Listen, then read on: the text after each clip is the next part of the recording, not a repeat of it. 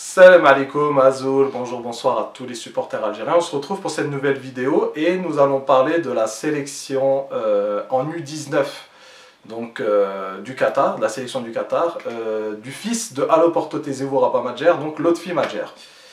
Donc, quelque part, c'est son droit, dans le sens où je crois qu'il est né au Qatar, ou alors il a vécu au Qatar, ou un des deux. Donc, il n'y a pas de souci à ce niveau-là.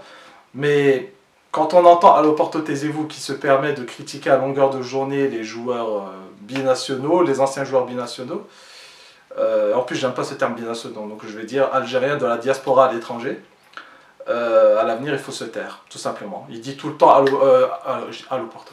Il dit tout le temps taisez-vous, bah, il devrait se taire lui déjà en premier lieu, se permettre de critiquer voilà, hein, certains joueurs, certains anciens joueurs et surtout de critiquer certains qui choisissent euh, l'équipe de France, qui disent oui, mais ils choisissent en, premier, ils choisissent l'équipe de France, et s'il n'est pas pris, bah, il choisit l'équipe d'Algérie. Bon, pour certains, c'est peut-être vrai, hein, c'est possible.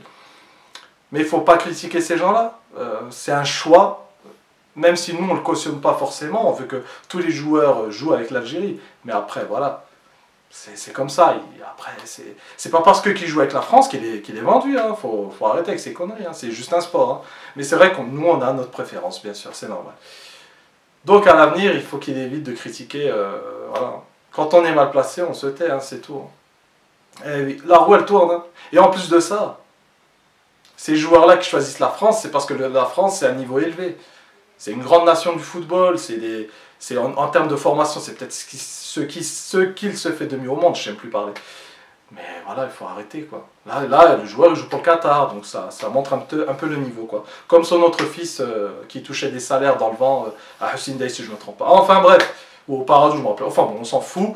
Euh, allô Porto, taisez-vous et mettez-moi en commentaire ce que vous en pensez. Salam alaikum.